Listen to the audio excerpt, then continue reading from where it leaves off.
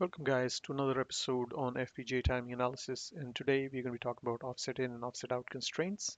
With that let's dive in. So why do we need to specify these constraints?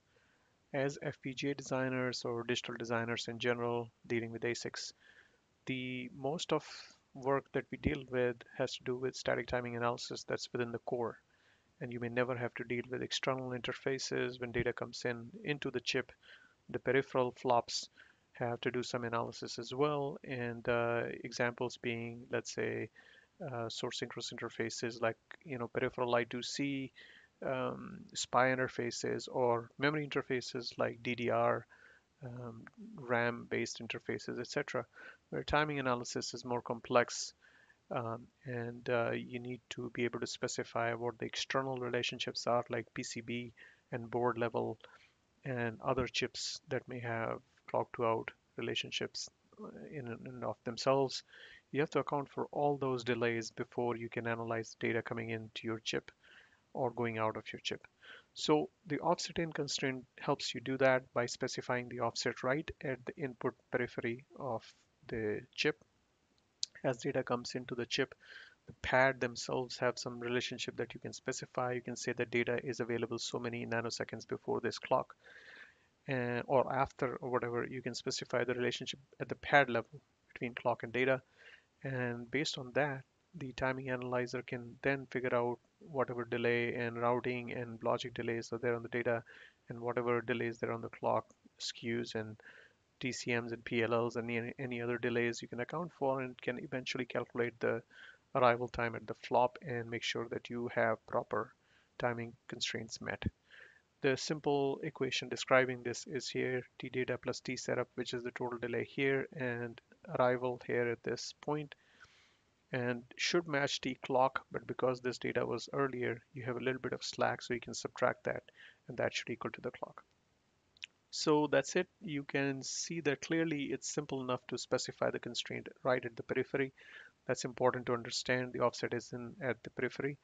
And once peripheral constraint is set up, it is very easy for the static timing tool to analyze what happens at this point inside the flop. So next, let's look at offset out. Offset out is a constraint that um, is specified between the clock pad uh, in and the data pad out. And so you can see that the two points are this point and that point. And what this means is that obviously at this external flop before it goes out to the pad, there's going to be clock to out, there's going to be data delay here before it arrives at the pad. So you have to account for all those delays.